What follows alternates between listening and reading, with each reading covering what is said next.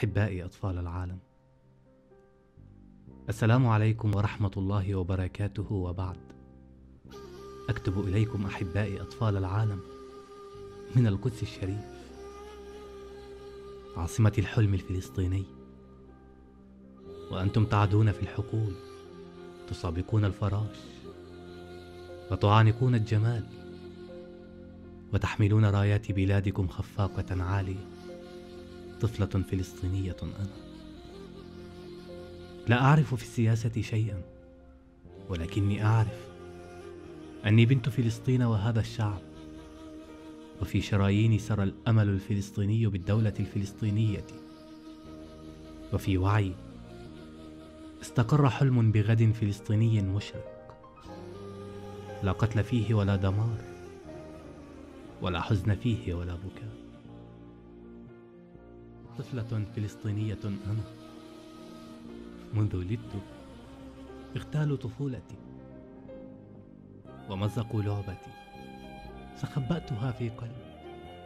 منذ ولدت وأزيز الرصاص يخترق أذني ويجلل السواد الأشياء كلها حولي.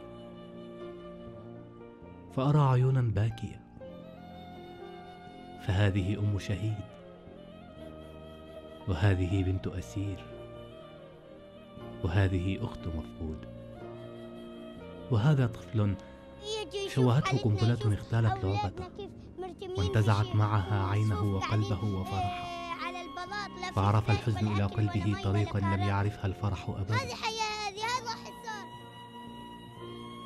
وهذه امرأة شابة فقدت زوجها فحفر الحزن في وجنتيها أخاديد اليأس بأظافر لا لحم عليه. منذ ولدت. وأنا أرى حقولنا مستباحة. وأزقتنا مغلقة يمشي فيها الموت والعسكر. وأرى ركام منازل مهدمة. تناثرت حجارتها في الأرجاء. وما تزال تئن تحتها ذكريات الأطفال وأحلام العصافير. كنت أتمنى أن أرى البسمة تعلو الشفاه.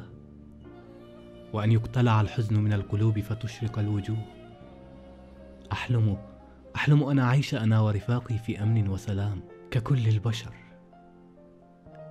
لنا دولة وحدود وراية وكرامة. كنت أحلم أن يكون لي مدرسة لا أخاف أن يدوسني فيها حذاء جندي غاصب أو تنقل له جدران المدرسة أحلامي. كنت أحلم أن يستجيب القلم لأماني القلب. فيرسم شمسا تشرق وفلاحا يزرع وطفلا يمسك بيد طفلة يلوح بها. وفي الأخرى تحمل كراسة وقلما وقلبا يحمل الحب لأطفال الدنيا. طفلة فلسطينية أنا. لا أعرف في السياسة شيئا. لماذا ذبحوا طفولتي أمامي؟ واغتالوا الورد في الحقول. لماذا قتلوا الفراشات في حدائقنا وأفزعوا الطيور؟ لماذا حجبوا الشمس ونثروا العتمة وسدوا الدروب؟ ولكن في أعماق قلبي استقر حلم فلسطين أن أعيش في هدوء وسلام.